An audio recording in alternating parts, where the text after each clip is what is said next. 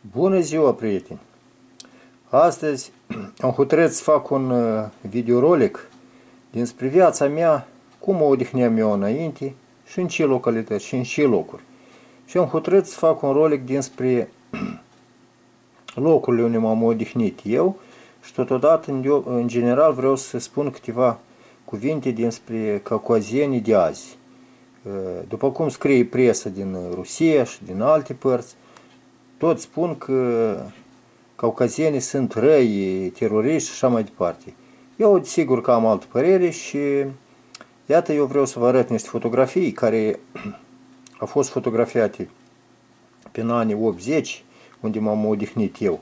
Și voi povesti despre fotografiile astea, voi arăta și totodată voi povesti despre caucazieni, cum sunt ei, cum erau și cum sunt la ziua de azi. De pildă, iată fotografia asta, da? Începem de la asta. Iată fotografia asta este făcută în, în Armenia. Aici eu sunt în, în partea stângă. Fetele astea sunt o parte moldoveni din Moldova, dar o parte sunt din alte regiuni a Uniunii Sovietice. Iată, uitați-vă. Și voi povesti mai departe, voi mai arăta câteva fotografii și voi povesti acum și unde am mai fost eu. Și vreau să spun că nu mai sunt ei așa de răi cum spune presa rusească. Uh, eu am fost în mai multe regiuni a Caucazului și vreau să spun că îi cunosc mai bine. În afară de asta am mai făcut și serviciu militar, tot cu caucazieni. Și iată câteva fotografii. Vreau să zic că asta este o fotografie din, uh, din Armenia. Uh, următoarea Acum vă arăt următoarele fotografii. Iată aici tot am o fotografie, tot din Armenia, cu un grup de turiști. Noi am fost ca turiști în anice. Iată, sigur mai multe femei, nu știu de ce, dar uh, a fost foarte interesant. Asta a fost, uh, m-am odihnit eu în, uh, în Armenia. Am stat atunci 20 de zile. Iată asta, la fel, este o fotografie din uh, Armenia, din orașul Leninacan, unde cândva a fost cu tremur. Cred că știe multă lume ce a avut loc acolo. Asta este o fotografie nu precalitativă. Știți că în anii ce nu se făcea fotografii calitative și, mă rog, așa, acum este altă posibilitate.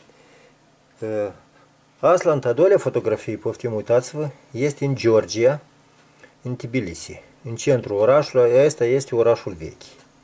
Iată, uitați-vă cât puțin, eram mai tinerel atunci. Iată așa arăta Georgia în anii, în anii 80. A asta fotografie. Vreau să vă povestesc despre fotografia aceasta. Această fotografie este tot din Georgia, din Tbilisi, cu o domnișoară care m-am odihnit eu. Acum nu mai știu unde este. Este în parcul, nu mai țin minte, în parcă Stalin, cum se mai numea el atunci. Foarte un oraș frumos este.